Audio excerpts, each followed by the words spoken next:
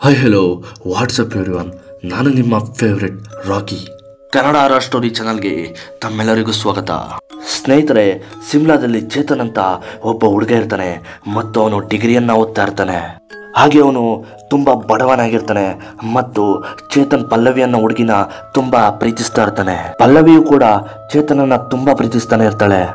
ಮತ್ತು ಪಲ್ಲವಿ ಒಬ್ಬ ದೊಡ್ಡ ಪ್ರೊಫೆಸರ್ನ ಮಗಳಾಗಿರ್ತಾಳೆ. ಕೊನೆಗೂ ಚೇತನ್ ಮತ್ತು ಪಲ್ಲವಿ ಡಿಗ್ರಿಯನ್ನ ಮುಗಿಸ್ತಾರೆ. ಚೇತನ್ ಒಂದು ದೊಡ್ಡ ಕಂಪನಿಗೆ ಕೆಲಸಕ್ಕೆ ಸೇರ್ತಾನೆ ಮತ್ತು ಅವನಿಗೆ ಇಪ್ಪತ್ತೈದು ಸಾವಿರ ಸಂಬಳ ಸಿಗುತ್ತೆ. ಆದ್ರೆ ಪಲ್ಲವಿ ಮೊದಲೇ ದೊಡ್ಡ ಪ್ರೊಫೆಸರ್ನ ಮಗಳಾದ್ದರಿಂದ ಅವರ ತಂದೆ ಅವಳನ್ನ ಯಾವ ಕೆಲಸಕ್ಕೂ ಸೇರಿಸೋಲ್ಲ. ಇದರಿಂದಾಗಿ ಚೇತನ್ ಮತ್ತು ಪಲ್ಲವಿ ಭೇಟಿಯಾಗೋದು ತುಂಬಾ ಕಡಿಮೆ ಆಗುತ್ತೆ. ಈ ಕಡೆ ಚೇತನ್ಗೂ ತುಂಬಾನೇ ವರ್ಕ್ಸ್ ಇರುತ್ತೆ ಸೊ, ಇದರಿಂದಾಗಿ ಚೇತನ್ ತುಂಬಾ ದುಃಖಿತನಾಗ್ತಾನೆ. ಕೊನೆಗೆ ಚೇತನ್ ಧೈರ್ಯ ಮಾಡಿ ಪಲ್ಲವಿಯ ತಂದೆ ಬಳಿ ಹೋಗಿ ಅವರ ಪ್ರೀತಿ ವಿಷಯವನ್ನ ಹೇಳ್ತಾನೆ. ಅದಕ್ಕೆ ಪಲ್ಲವಿಯ ತಂದೆ, ಜುಜುವಿ, ಇಪ್ಪತ್ತೈದು ಸಾವಿರ ಸಂಬಳವನ್ನು ತಗೊಳ್ಳೋ ನಿನಗೆ ನನ್ನ ಮಗಳನ್ನು ಕೊಡ್ತೀನಿ ಅಂತ ಹೇಳಿ ಚೇತನ್ಗೆ ತುಂಬಾ ಅವಮಾನ ಮಾಡ್ತಾನೆ. ಇದರಿಂದ ಚೇತನ್ ತುಂಬ ದುಃಖಿತನಾಗ್ತಾನೆ ಮತ್ತು ಚೇತನ್ ಮನೆಗೆ ಬಂದು ಬಡವನಾಗಿ ಹುಟ್ಟಿದ್ದೆ ತಪ್ಪ ಅಂತ ಯೋಚನೆ ಮಾಡೋದಕ್ಕೆ ಶುರು ಮಾಡ್ತಾನೆ. ಪಲ್ಲವಿಯ ಬಿಟ್ಟು ಇರೋದಕ್ಕೆ ನನ್ನ ಕೈಲಿ ಆಗೋದಿಲ್ಲ. ಹೇಗಾದರೂ ಮಾಡಿ ಅವರ ತಂದೆಯನ್ನು ಒಪ್ಪಿಸ್ತೀನಿ ಅಂತ ಮತ್ತೆ ಅವರ ಮನೆಗೆ ಹೋಗ್ತಾನೆ. ಮತ್ತು ಈ ಬಾರಿಯೂ ಕೂಡ ಪಲ್ಲವಿಯ ತಂದೆ ಒಪ್ಪೋದಿಲ್ಲ. ಇದರಿಂದಾಗಿ ಪಲ್ಲವಿ ಸೂಸೈಡ್ ಮಾಡ್ಕೋತಾಳೆ ಆದರೆ ಸ್ವಲ್ಪದರಲ್ಲಿ ಮಿಸ್ ಆಗಿ ಆಸ್ಪತ್ರೆಗೆ ಸೇರ್ತಾಳೆ. ಪಲ್ಲವಿಯನ್ನು ನೋಡೋಕ್ಕೆ ಚೇತನ್ ಆಸ್ಪತ್ರೆಗೆ ಬರ್ತಾನೆ. ಆದರೆ ಪಲ್ಲವಿಯ ತಂದೆ ತಡೆದು ಅವನನ್ನು ಮಾತಾಡಿಸ್ತಾನೆ.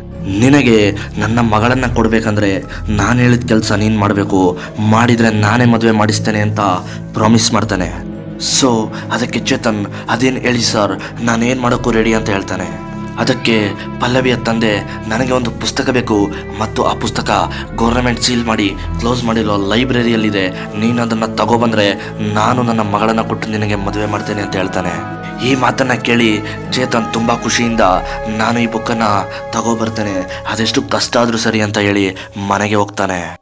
ಮನೆಯಲ್ಲಿ ಅವನ ಸ್ನೇಹಿತನಿಗೆ ನಡೆದ ವಿಷಯವನ್ನೆಲ್ಲ ಹೇಳ್ತಾನೆ.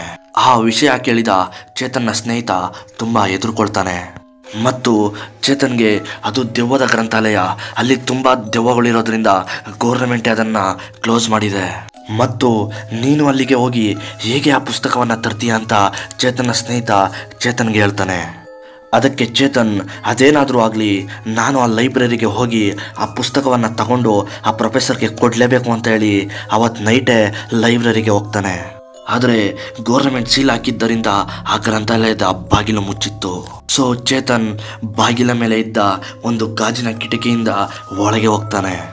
ಹೋಗಿ ಪಲ್ಲವಿಯ ತಂದೆ ಹೇಳಿದ ಪುಸ್ತಕವನ್ನ ಹುಡುಕೋದಕ್ಕೆ ಶುರು ಮಾಡ್ತಾನೆ. ಇನ್ನೊಂದು ಮುಖ್ಯವಾದ ವಿಚಾರ ಏನು ಅಂದ್ರೆ, ಆ ಗ್ರಂಥಾಲಯದ ಯಾವ ಪುಸ್ತಕವನ್ನು ಹೊರಗಡೆ ತಗೊಂಡೋಗೋಕೆ ಆ ಭೂತ ಬಿಡ್ತಾ ಇರೋದಿಲ್ಲ.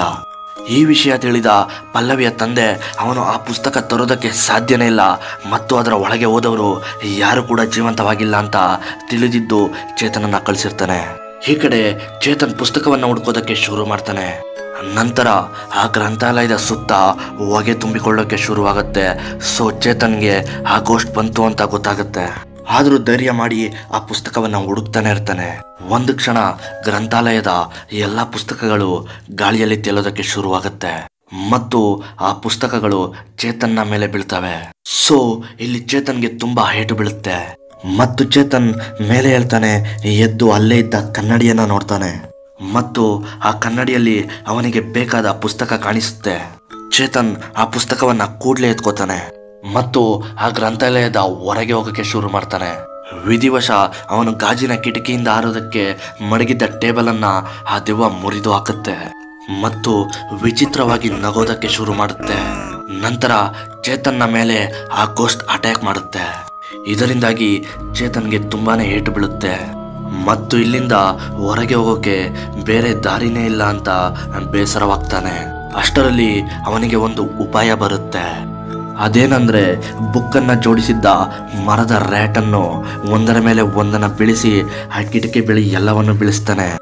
ಅದನ್ನ ನೋಡಿದ ಗೋಸ್ಟ್ ಚೇತನ್ನ ಮೇಲೆ ಹಿಂದೆಯಿಂದ ಅಟ್ಯಾಕ್ ಮಾಡುತ್ತೆ. ಆದರೆ ಚೇತನ್ ಭಯ ಪಡದೆ ಬೇಗ ಬೇಗ ಓಡಿ ಹೋಗಿ ಕಿಟಕಿಯಿಂದ ಮುಂದಕ್ಕೆ ಹಾರ್ತಾನೆ. ಮತ್ತು ಆ ದೆವ್ವವಿಂದ ಸ್ವಲ್ಪದ್ರಲ್ಲಿ ಮಿಸ್ ಆಗ್ತಾನೆ.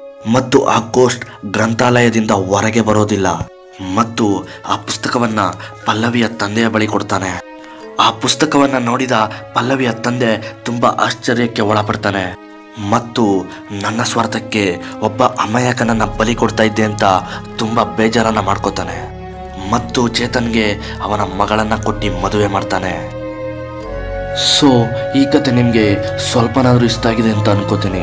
ಈ ವಿಡಿಯೋ ಇಷ್ಟ ಆದರೆ ಲೈಕ್ ಮಾಡಿ ಶೇರ್ ಮಾಡಿ ಮತ್ತು ಇದೇ ಥರ ಹೊಸ ಹೊಸ ಕತೆಗಳಿಗಾಗಿ ನಮ್ಮ ಚಾನಲನ್ನು ಸಬ್ಸ್ಕ್ರೈಬ್ ಮಾಡ್ಕೊಳ್ಳಿ. ವಿಡಿಯೋ ನೋಡಿದ್ದಕ್ಕೆ ಥ್ಯಾಂಕ್ ಯು ಫಾರ್ ವಾಚಿಂಗ್